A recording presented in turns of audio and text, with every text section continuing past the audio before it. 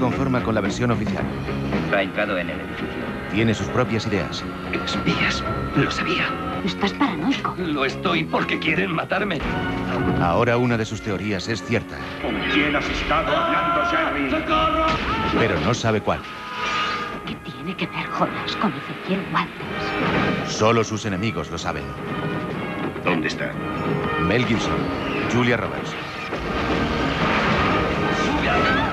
Conspiración. Esta noche en primera.